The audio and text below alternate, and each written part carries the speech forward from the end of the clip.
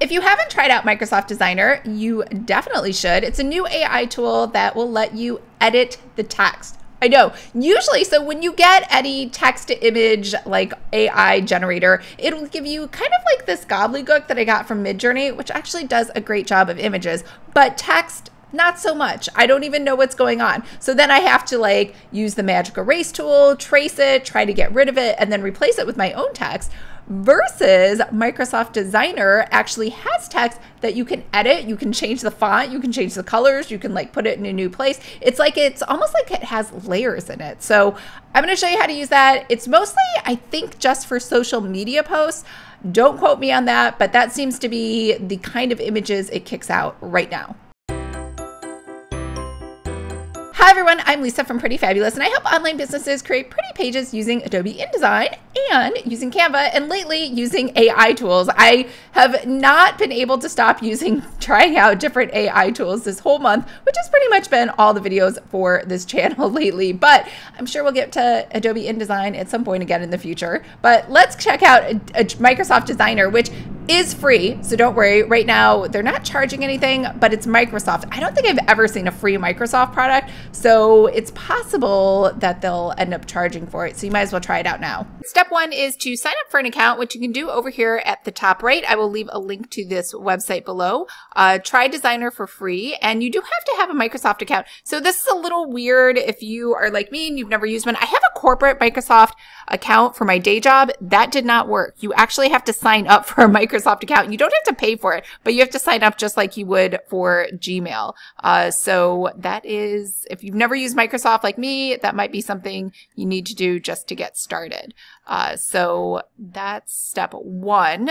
Um, and it, I have a second link just in case you get on the wait list. Uh, I have a second link for that. All right. So here are some examples that it has created already. And if you hover over these, here's what uh, the, ta- the text was, the prompt that created these images that you see in case there's one you like. But we're just going to create an image. We're going to say, we're going to say an Instagram post about my pretty planner. And we're just gonna hit generate. Now, I would not suggest hitting generate image. Uh, it actually didn't do a good job. It was just kind of like scary stuff. Um, so if I don't, do you reckon? I recognize this woman from stock photos. I don't know if anyone else does. I, it's possible I've been creeping around stock photos too much, but um, it doesn't really matter what you pick because it's going to give you the option to change your mind. Now you can also hit generate and it will just shuffle it through and come up with either the same or a whole new set of 15 images for you as well. Uh, so maybe I really like this. Maybe I want to advertise a digital planner. So I'm just going to say customize design. And over here, I can change my mind again and say, oh, actually, I like this. This just looks a little better. And now once I'm in here, I can change this text too. So kind of masculine. Maybe I don't really like it. That looks a little better. Um, and you can just try all of these out. Now it's grouped them for you too. They have display fonts. Um, they have fun. I think we were already in friendly. They have handwritten retro sans script. So this works just like Canva, if not better. Um, and then obviously see all styles. Uh, but you can pick out any sort of font that you want. And then you can go ahead and you could also say, whoops, where was I? You could say, inspire me. And you could just let it pick it for you and just kind of rotate through different things uh, different fonts that you want it to kind of try out instead of you having to search around on your own.